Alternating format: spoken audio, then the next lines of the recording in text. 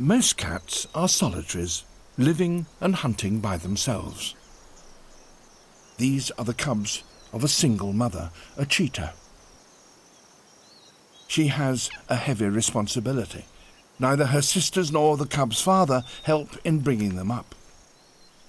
Finding food for them and for herself is not easy.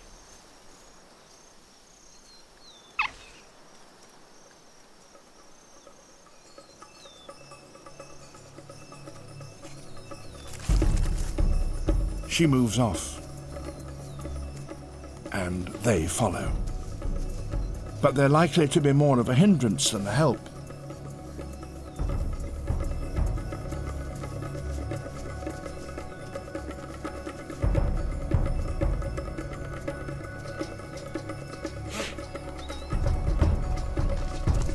Impala are grazing nearby. They move away as she approaches, but they don't panic. Unless a cheetah is within 30 yards, they can outrun her. She knows that too and doesn't want to waste her energy.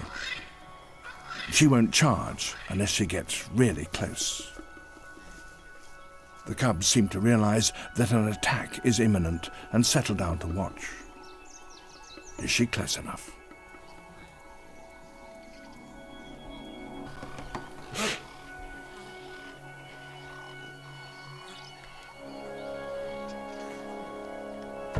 They're beginning to drift away.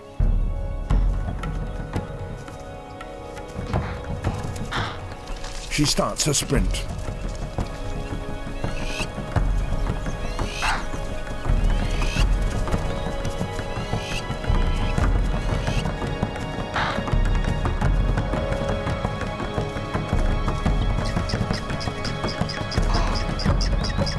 Now she's running flat out. She's bounding so swiftly that her feet are off the ground for almost half the time. She's almost flying.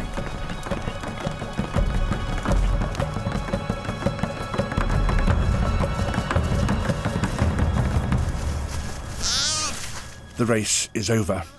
The slowest will not compete again.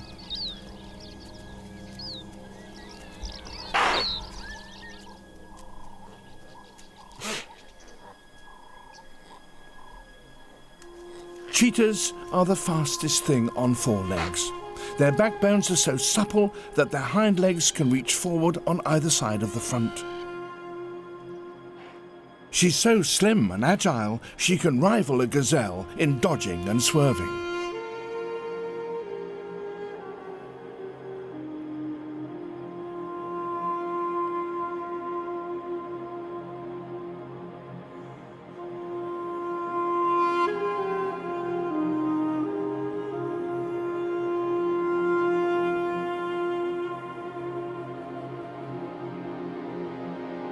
Unusually, another has come to share her prize. It's probably a grown-up cub from last year's litter.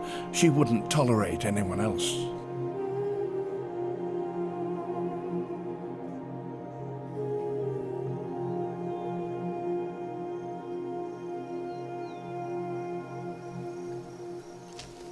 Her slim, athletic build is now a liability. Heavier animals like lions could push her off her kill, so she and her cubs eat fast.